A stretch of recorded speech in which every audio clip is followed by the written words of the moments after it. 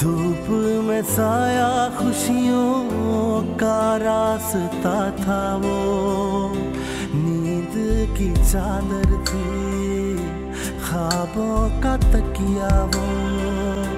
सोचों में पल पल ये, अब जो नहीं है वो। ये कैसी मुश्किल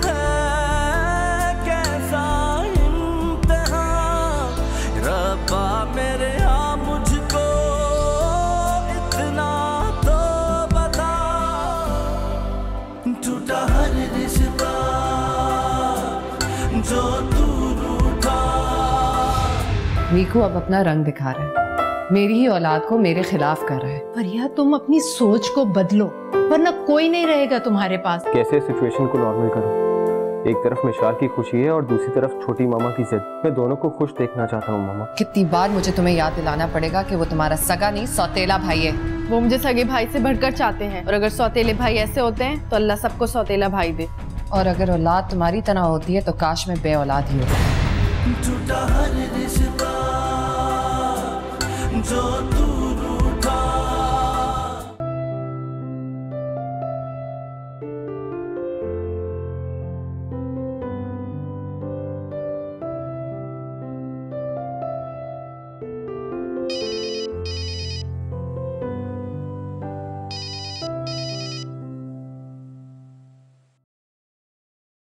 हाय मीकू। अभी मिल सकती हो। इस वक्त? तुम हमेशा इमरजेंसी में क्यों रहते हो? नहीं। घर जा रहा था। सोचा तुम्हें बता दूँ कि वो लड़की कौन है। ओह तो खुशी छुपाई नहीं जा रही। यही समझ लो। तो पिक करूँ अभी? मैं मामा से पूछ लूँ तो बताती हूँ। अच्छा जल्दी पूछ के बताओ मैं वेट कर रहा हूँ। हाँ ओके बाय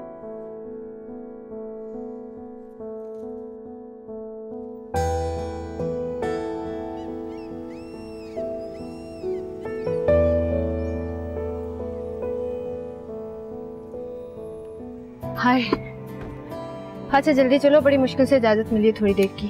लेट्स गो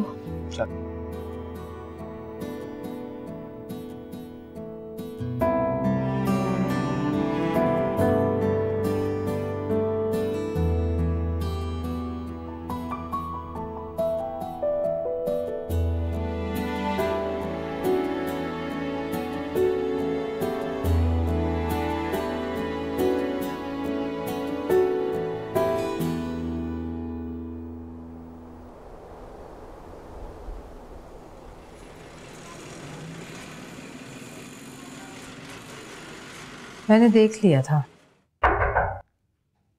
आ जाओ। अच्छा ठीक है मैं मैं बाद में बात करती हूँ। हाँ खुदा हाफिज। कोई काम है क्या? नहीं। आपको बताने आई थी कि वलीद ईमान को बहू बनाने पर राज़ी हो गया। हाँ तो अच्छी लड़की है ईमान उसमें बुराई क्या है? आप ठीक कह रही हैं आप। मेरे अलावा सभी अच्छे हैं।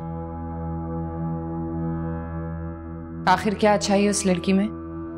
जब देखे मुँह उठा के यहाँ पे आ जाती है। क्या शरीफ लड़कियों का ये तौर तरीका होता है?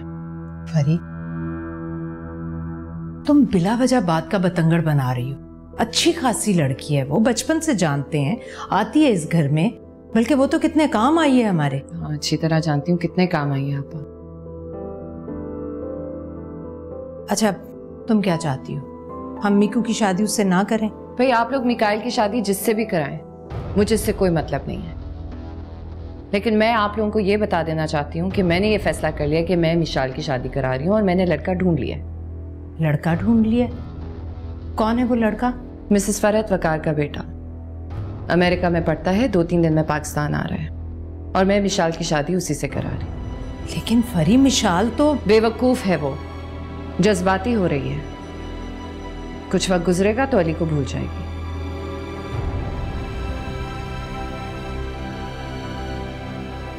मैं चलती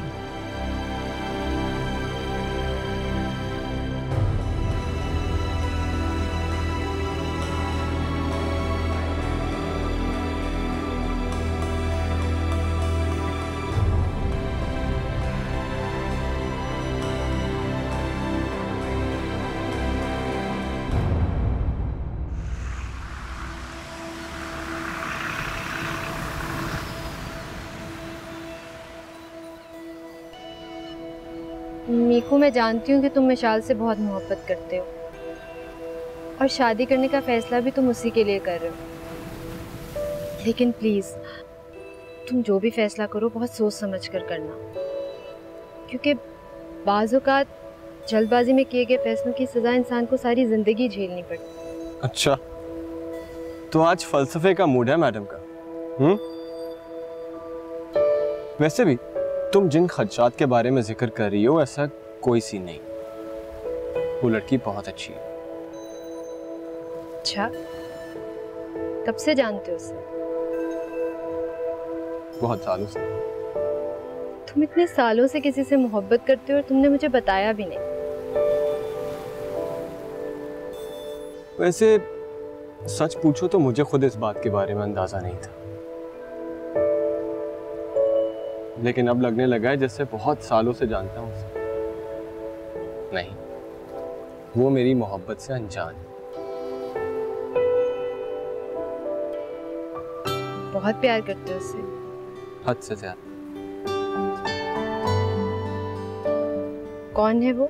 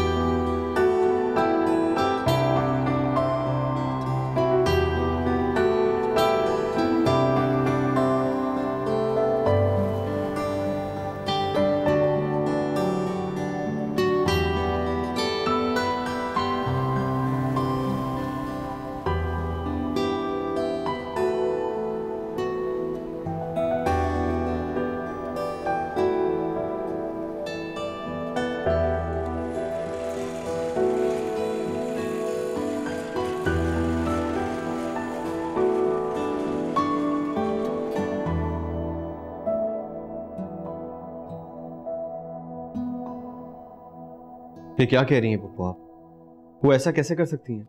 ठीक कह रही हूँ मैं। उसने तो फरज से बात भी कर ली है। कुछ ना कुछ करके उन्हें समझाना होगा।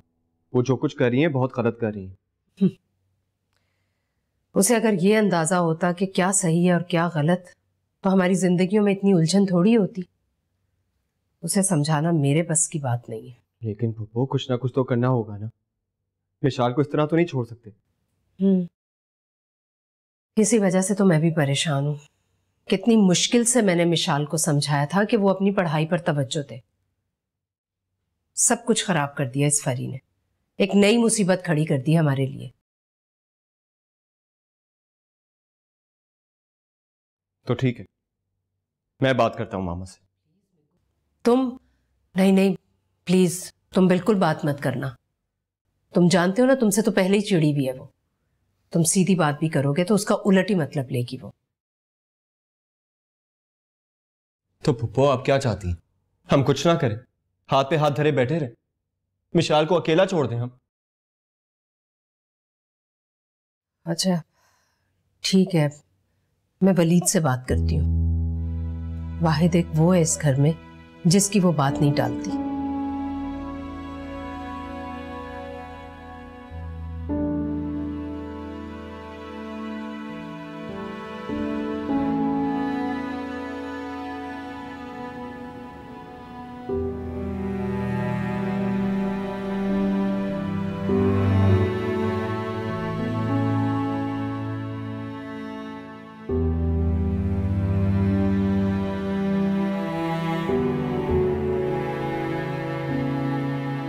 अस्सलाम वालेकुम मामा अस्सलाम वालेकुम पापा और बेटा खाना खाओ? भूख नहीं है पापा आप लोग खाएँ। घर का खाना कब इसके हलक से नीचे उतरता है? खा के आई हो कि मीकू के साथ बाहर से। मामा मैंने कुछ नहीं खाया। बस थकन हो रही है। मैं रेस्ट करने जा रही हूँ। सही से समझाएँ ये क्या हो रहा है? हर वक्त मीकू के साथ घूमती रहती है। दिन को मुझे कह के गई कि मैं थोड़ी देर में वापस आ जाऊँगी। और देखे तो रात हुई है तब वापस आई है तो बेटी के लिए परेशान होना छोड़ देना बेगम। मैंने आपकी परेशानियों का हल ढूंढ लिया है। कैसा हाल? क्या कहना चाहते हैं आप? आज वली साहब की कॉल आई थी। वो हमारी बेटी को अपनी बहू बनाना चाहते हैं। क्या?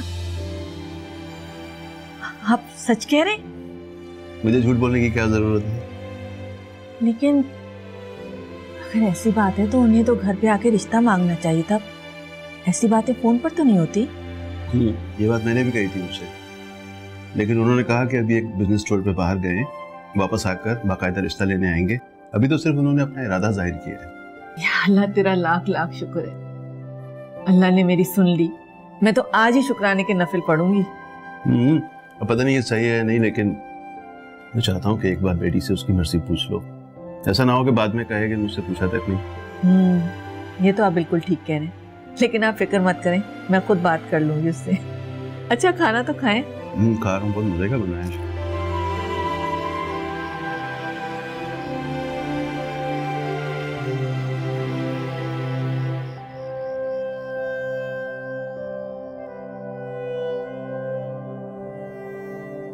अब हमारे दरमियान कोई नहीं आ सकता अली। सब हमारे साथ हैं। हाँ हाँ। मुझे भी अब ऐसा ही लगता है। और ये सब मीकू भाई की वजह से हुआ है। अली अगर भाई शादी के लिए ना हाँ ना करते तो सब हमारे पीछे पड़े रहते। अब तुम लोगों को उनके लिए लड़की ढूंढनी चाहिए ताकि ये ना हो कि वो अपना इरादा बदल लें। बिल्कुल नहीं हो सकता लड़की तो हमने ढूंढ ली है और भाई उसे पसंद भी करते हैं। What? मीकू भाई किसी को पसंद करते हैं? और क्या वो कोई नहीं हमारी ईमान आपी हैं अब वो ही मेरी भाभी बन के आएँगी। ईमान आपी? वो सईद अंकल की बेटी। ओहो भाई एक ही तो ईमान आपी हैं। कंग्रेट्स यार थैंक यू अच्छा अली एक बात कहूँ हाँ कहो यार देखो हमारी सारी प्रॉब्लम्स भी सॉल्व हो गई अब हमें अपना फोकस पढ़ाई की तरफ़ भी करना चाहिए तुम्हें पता है ना हमारा फाइनल ईयर है हमारे ग्रेड्स अच्छे नहीं आएँगे तो फिर क्या होगा हम्म सही कह रही हो वैसे पढ़ाई का तो बहुत नुकसान हुआ है चलो ठीक है आज से पढ़ाई शुरू और बातें बंद कल से मुझे कॉल करने की कोई ज़रूरत नहीं है मैडम ओहो चलो ठीक है फिर मैं कॉल काट रही हूँ। अरे मैं कल की बात कर रहा हूँ यार। अच्छा चलो सही है यार कल कॉलेज में मिलते हैं ठीक है? बाय बाय बाय बाय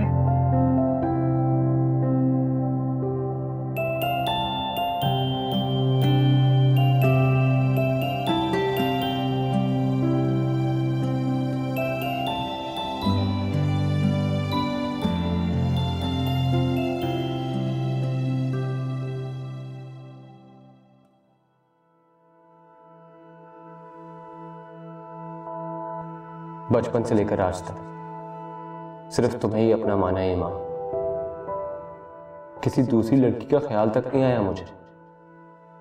मैं हमेशा से तुमसे मोहब्बत करता आया हूँ।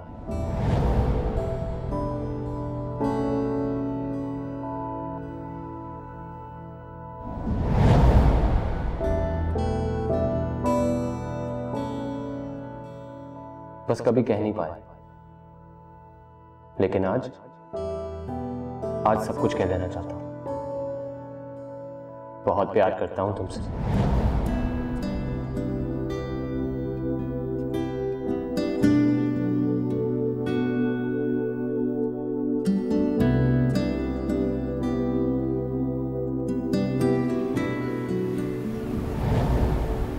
और वादा करता हूँ, तुम्हें हमेशा खुश रखूँगा। कभी कोई दुख नहीं पहुंचाऊँगा। तो मेरा साथ दोगी ना इमा शादी करोगी मुझसे?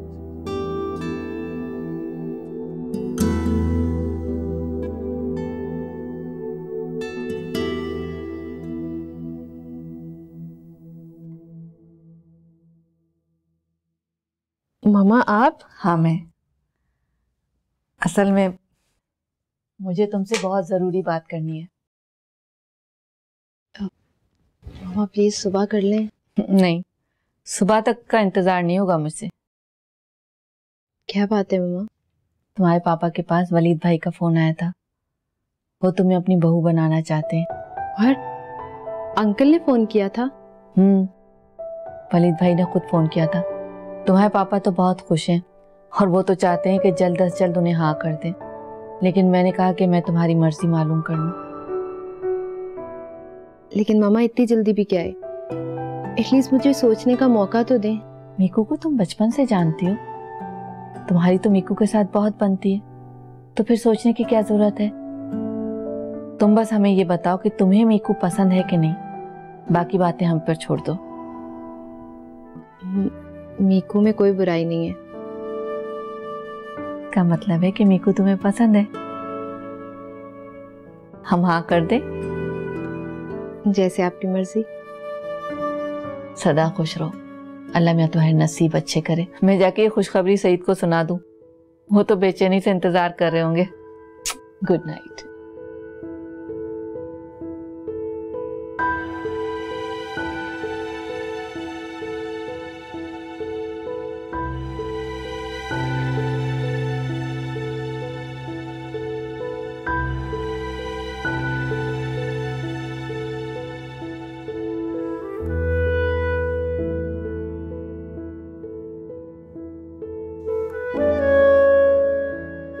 सलामकुम सईद साहब कैसे हैं आप? बे वक्त फ़ोन करने की माफ़ी चाहता हूँ। जानता हूँ कि इस वक्त आप रास्ते में नहीं नहीं ऐसी कोई बात नहीं है। आपका फ़ोन आया सब खैरियत है ना? बस आपको एक खुशखबरी देनी थी। वो जैसा कि आपने कहा था कि ईमान बेटी से मालूम कर लूँ तो हमने उनसे पूछ लिया है। उनकी तरफ़ से हाँ है। हाँ कर दी माशाल्लाह माशाल्लाह बहुत बहुत मुबारक हो। आपको भी मुबारक हो। जी जी। लगता है ये टूर की शुरुआत बहुत लकी साबित हुई है मेरे लिए। जी। नहीं नहीं अब तो ईमान बेटी हमारी अमानत है आपके यहाँ। मैं जैसे ही वापस आता हूँ टूर से फिर आपको फ़ोन करूँगा और हम आ जाएँगे रिश्ता लेके। जी जी आपकी अमानत है जब चाहें भी आकर ले जाएँ। नहीं नहीं सईद साहब बहुत धूमधाम से शादी होगी। मैं कोशिश करूँगा टूर जल्दी खत्म हो जाए तो फिर हम रिश्ता लेके आपके घर आ जाएँगे। जी जी आप अपना बिज़नेस टूर कंप्लीट करें उसके बाद जब आप आएँगे तो फिर बैठ कर बात करते हैं। ज़रूर। भाभी और ईमान को मेरा बहुत प्यार दीजिएगा। जी जी खुदा हाफिज खुदा हाफिज। ओके।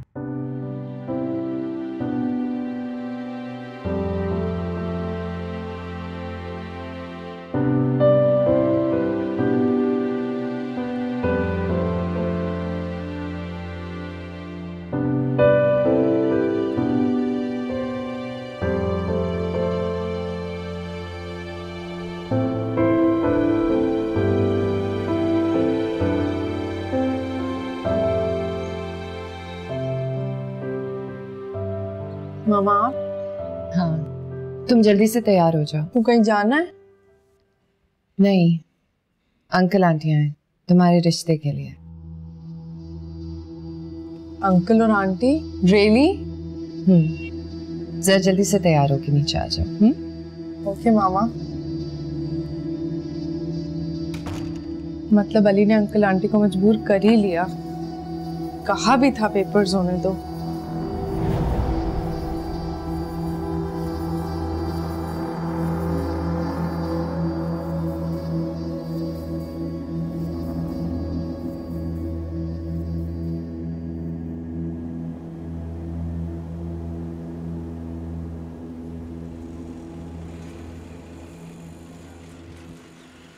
विशाल तुम तैयार हो गई हो? जी मामा। जल्दी से चलो बेटा वो तुम्हारा इंतज़ार कर रहे हैं। मामा मीकू भाई आ गए क्या?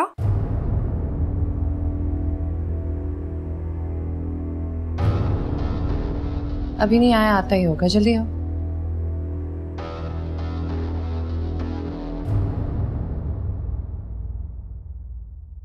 बेटा आंटी को सलाम करो।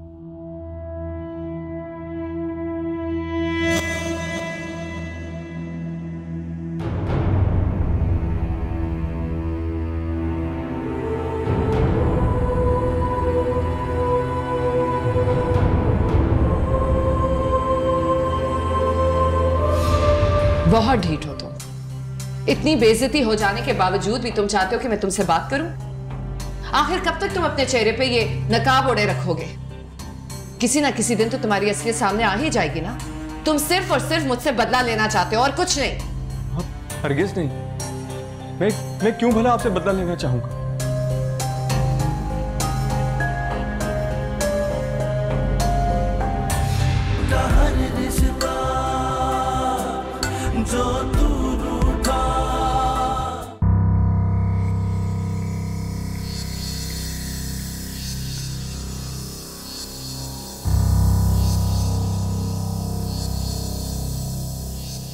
तुम्हें जरा सी भी शर्म नहीं आई? इतनी बेइज्जती की है तुमने मेरी सबके सामने? आपने झूठ क्यों बोला मामा कि अंकल आंटी आए? मैं तुम्हें जवाब देने की पाबंद नहीं हूँ। और वैसे भी क्या वो तुम्हारे अंकल आंटी नहीं है? मैंने बस तुम्हें नाम नहीं बताया तो क्या हुआ?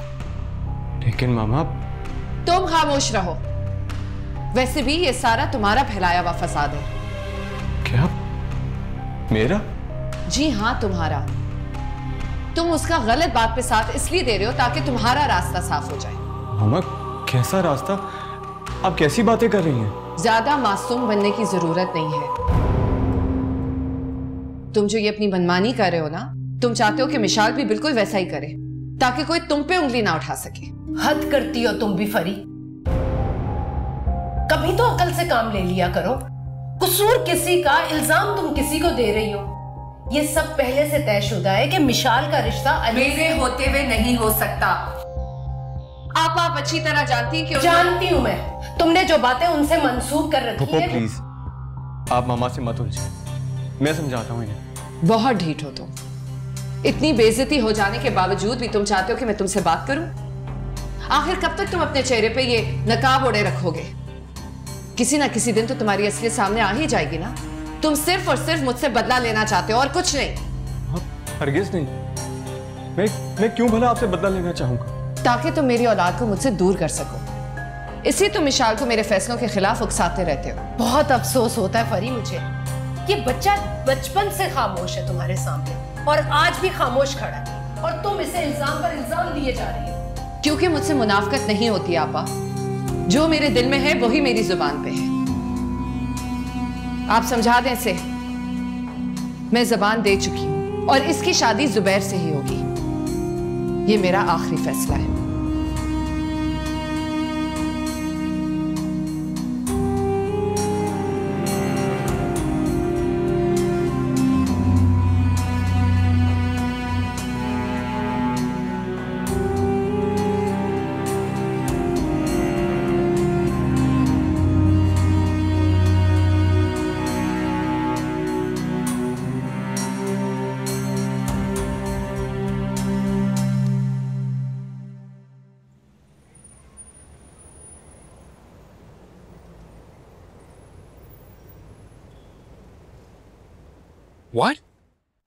नहीं मिशाल आंटी ऐसा नहीं कर सकती। वो कुछ भी कर सकती हैं अली। उन्होंने उन लोगों को ज़ुबान दी है। लेकिन वो अंकल की गैर मौजूदगी में ज़ुबान कैसे दे सकती हैं? मैंने कहा ना अली वो कुछ भी कर सकती हैं। तुम्हें पता तो है वो कितनी जिद्दी हैं। एक दफ़ा जो कह दें वो करके रहती हैं। बहरहाल ये नामुमकिन है। मैं ऐसा होने नहीं दूँगा। मैं भी पापा से बात करता हूँ। नहीं अली। अंकल को कुछ बताने की ज़रूरत नहीं है, वो बिला वजह परेशान हो जाएँगे। अच्छा फाइन तुम रिलैक्स करो। मैं कुछ करता हूँ। वैसे भी वलीद अंकल और भाई ने अप्रूवल दे दी है। तो तुम सिर्फ़ मेरी हो। और मैं तुम्हारा रिश्ता किसी और से होने नहीं दूँगा। अच्छा लिसन मैं अब्बू को नहीं बता रहा। तो तुम ना परेशान होगी और ना रोगी अपना ख्याल रखना। कल मिलते हैं। बाय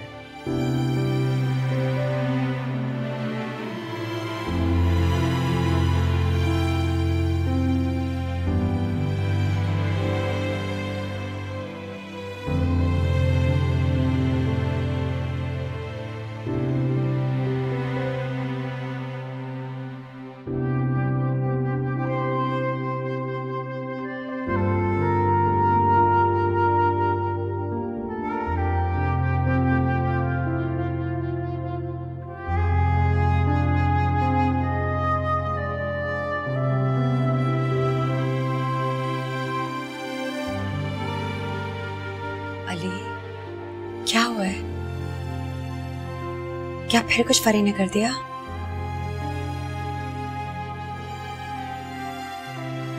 मामा आखिर आंटी को हमसे प्रॉब्लम क्या है? वो क्यों हमारे लिए इतने मसले खड़े कर रही है? बेटा उसके दिल में चोर है। वो नहीं चाहती कि हम उसका असली चेहरा देखें। असली चेहरा? क्या कहना चाहती हैं आप? मैं तुम्हें बताना तो नहीं चाहती लेकिन बहुत हो गया। आज तुम्हें हकीकत बता ही दूँगी।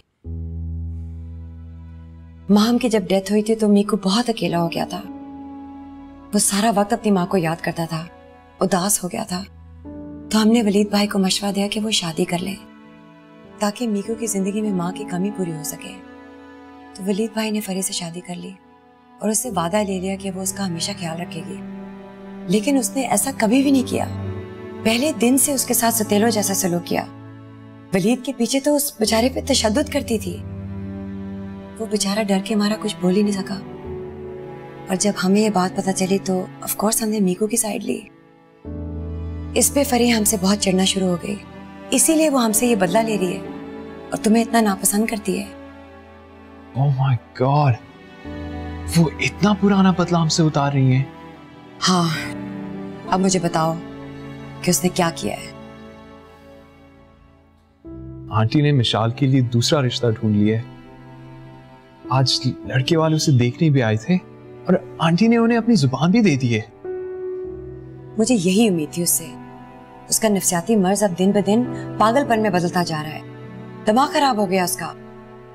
अपनी जिद में अपने बच्चों की भी ज़िंदगी तबाह कर रही है। बट अब मैं ये बर्दाश्त नहीं करूँगी। मैं अभी वलीद भाई से बात करूँगी। मामा प्लीज़ आप गुस्सा मत करें। मुझे कुछ टाइम चाहिए। मैं सोचना चाहता हूँ कि मैं क्या करूँ। अच्छा ठीक है बेटा। तुम सोच लो और हमें बता देना। पर एक बात याद रखना विशाल बहुत अच्छी लड़की है। उसके अगेंस्ट फैसला मत करना हाँ?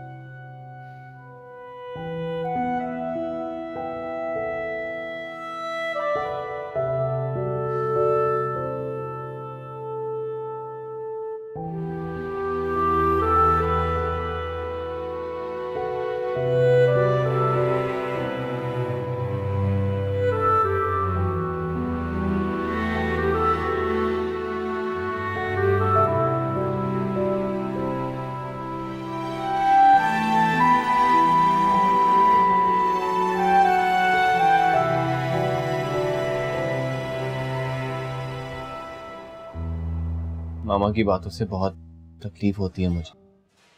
बहुत ज़्यादा। जानती हूँ। तुम्हारा चेहरा बता रहा है कि तुम कितने दुखी हो। मुझे समझ में नहीं आ रहा कि मामा को कैसे यकीन दिला। जैसा वो सोच रही है वैसा बिल्कुल नहीं। मेरे दिल में उनके खिलाफ कोई बुराई नहीं है। तुम जितना उनके करीब जाओगे उतना तुम पर शक करेंगी। तुम्हारी नीयत साफ़ है मीकू। तुम आंटी को उनके हाल पर छोड़ दो। कभी ना कभी तो उन्हें एहसास हो ही जाएगा। मुझे अपनी परवाह नहीं है। बस विशाल के बारे में सोचता वो खुश नहीं। तुम्हें पता है कितना रोई है वो मेरे सामने। और मैं कुछ भी कर नहीं पा रहा। तुम अंकल से बात करो। वो आंटी को समझा सकते हैं। पापा तो बिज़नेस स्टोर के लिए बाहर गए हैं। उन्हें ये प्रॉब्लम बता के तंग नहीं करना चाहता। कब आ रहे हैं अंकल? अगले हफ़्ते। हाँ तो ठीक है ना।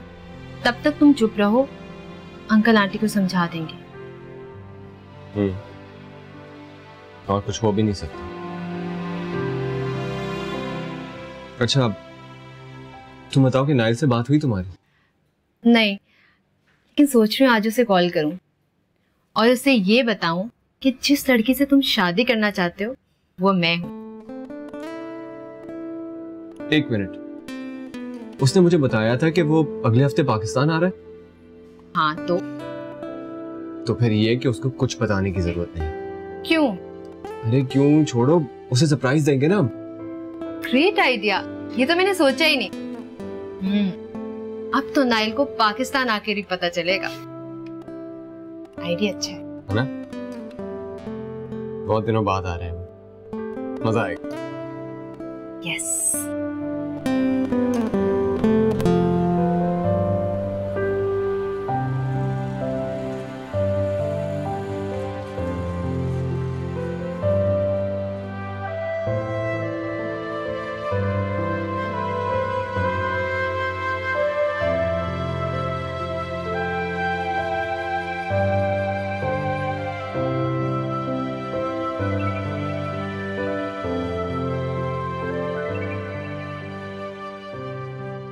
सलाम पापा बड़े अरसे बाद आपने फ़ोन किया। कैसी हैं? हाँ सबा मैं मैं बस ठीक ही हूँ। बाकी सब कैसे हैं घर पे? हाँ सबा वैसे तो सब ठीक हैं। बस मुझे तुमसे एक ज़रूरी बात करनी थी। जी आपा मैं जानती हूँ आप क्या बात करना चाहती हैं। मुझे अली ने सब कुछ बता दिया। ओह मैं समझी थी कि इतनी बड़ी बातें छुपती कहाँ हैं? और वैसे भी मिशाल हमारी अमानत है आपके पास।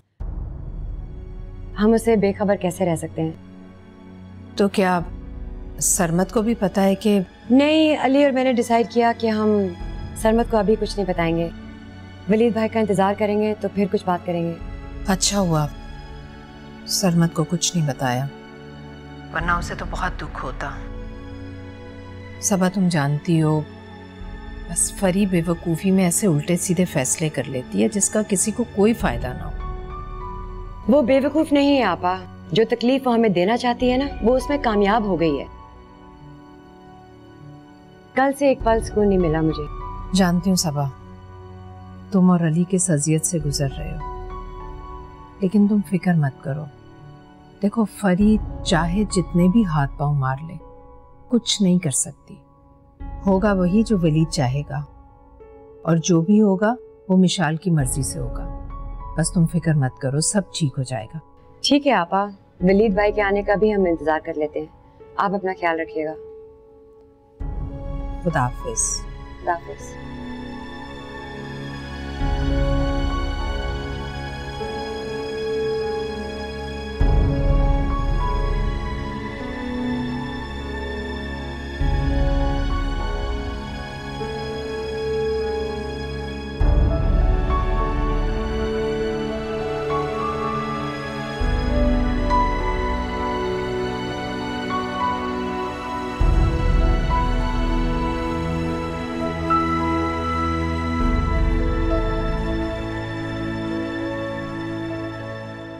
विशाल मैं तुम्हारी माँ हूँ।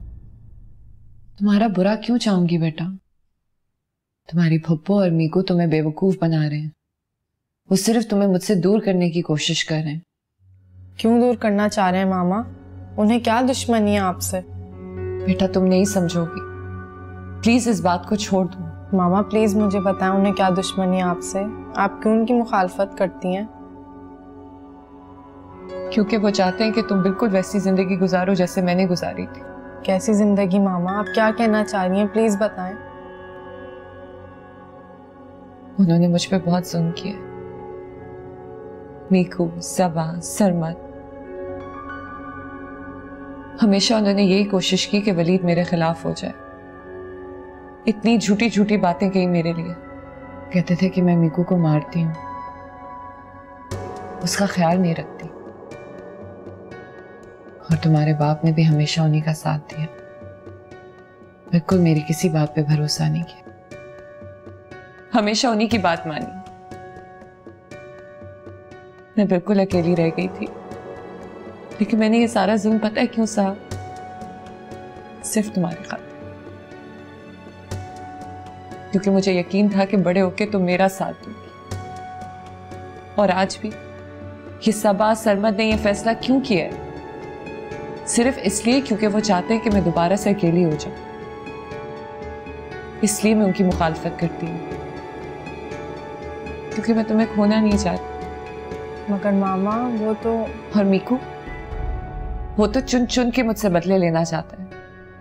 उसको इस बात से कोई गर्ज नहीं है कि तुम्हारी ज़िंदगी कैसी गुजरेगी। वो सिर्फ़ मुझे अजियत देना चाहता है। प्लीज़ विशाल मेरी बात को समझने की कोशिश करो।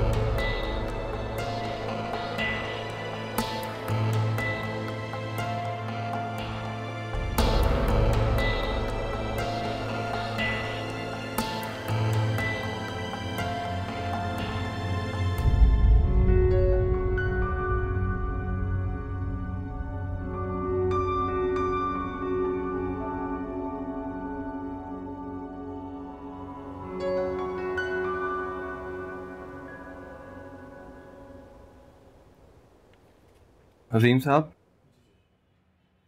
आपको हर चीज़ पे नज़र रखनी होगी।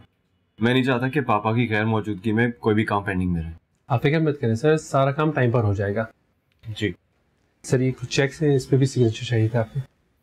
अच्छा। और वो जो नया प्रोजेक्ट है उसकी प्रेजेंटेशन मुझे आज शाम को ही चाहिए। जी सर हो जाएगी।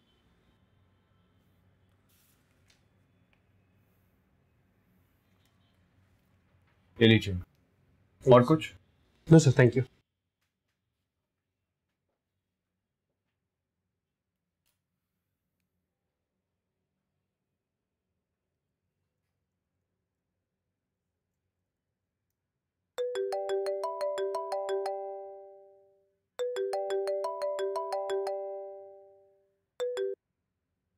hello ठीक है भाई।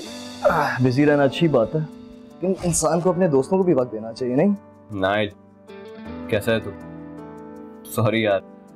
बहुत दफ़ा सोचा तुझे कॉल करने के लिए लेकिन टाइम ही नहीं मिला। वो असल में पापा भी बाहर गए हुए हैं ना लंदन में। तो काम में मसरूफ रहते हैं। और तुमने मुझे बताया भी नहीं? सॉरी यार। मैं समझा कि पापा ने तुझसे रब्ता कर लिया होगा। लेकिन एनीवेज मैं तुझे उनका नंबर सेंड कर दूँगा खुद बात कर लेना। ओके ओके भाई कर लूँगा। तुम मुझे ये बताओ कि वो लड़की कौन है जिससे तुम शादी कर रहे हो? कौन सी लड़की? ए भाई इतना अनजान बनने की भी ज़रूरत नहीं है। वही लड़की जिसके बारे में तुम ईमान को बताने लगे थे और उसे भी नहीं बताया। कितना गुन्ना है तू। हवा भी नहीं लगने दी।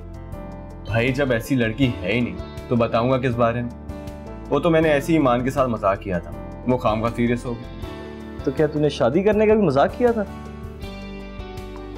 नहीं वो सच है। विशाल की शादी करनी है ना तो पहले मुझे करनी हो तो कोई लड़की ढूंढो तुम्हारे लिए? जी नहीं थैंक यू ये काम मैं खुद कर सकता हूँ। तू अपने लिए लड़की ढूंढ। अरे भाई पाकिस्तान आऊँगा तो ये ज़िम्मेदारी भी मामू और मामी को सौंप दूँगा। अच्छा तो वापसी का इरादा है? कब आ रहा है? यार बिज़नेस एक दफ़ा सेट हो जाए फिर चक्कर लगाऊँगा इंशाल्लाह। जल्दी लगा यार। मैं और ईमान बहुत मिस करते हैं तुझे। तुम आज तक नहीं बदले। फ़िक्र ना करो जल्दी मुलाकात होगी। फिर होती है बात हाँ? ठीक है बाय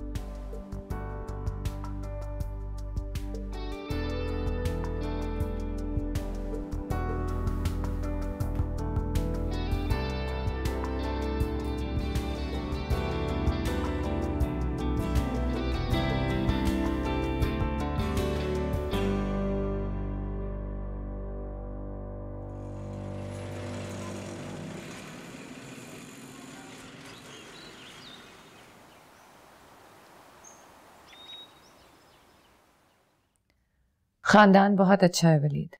और लड़का भी बहुत अच्छा है। अभी अभी अमेरिका से पढ़ के आया एम बी ए है। हाँ ठीक है। मिशाल से थोड़ा सा बड़ा है लेकिन इससे क्या फ़र्क पड़ता है? फरी भले वो आसमान से उतरा हो। मैं उसका रिश्ता वहीं करूँगा जहाँ मेरी बेटी चाहेगी। तो क्या लग रहा है तुम्हें? मैं तुमसे बिला वजह बात कर रही हूँ? बात की है मैंने मिशाल से। और वो बहुत खुश है इस रिश्ते से। ये कैसे हो सकता है? मेरे जाने से पहले तो वाली को पसंद करती थी। फिर अचानक तुम्हारी ये सब बातें? मुझे तो कुछ समझ नहीं आ रहा।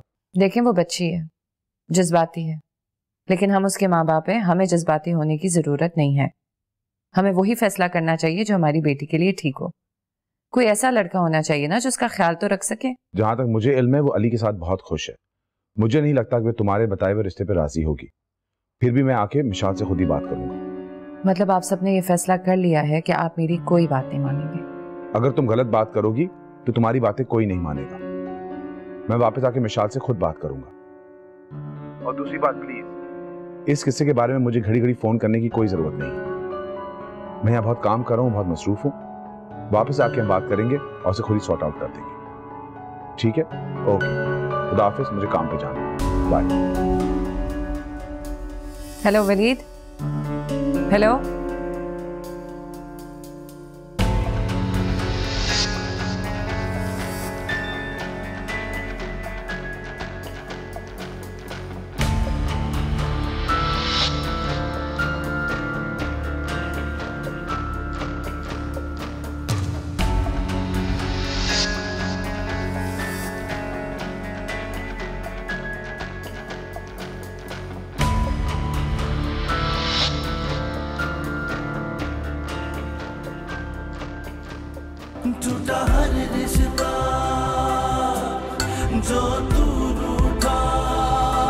चाय जानना चाहती हूँ मैं। कहीं ऐसा तो नहीं कि मामा ठीक हो। आप मेरी आड़ में मामा के बदले ले रहे हो।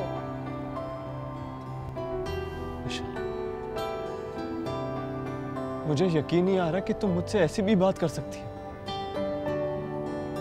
मैं धोखा दूँगा तुम्हें। तुमसे झूठ बोलूँगा। हो सकता है।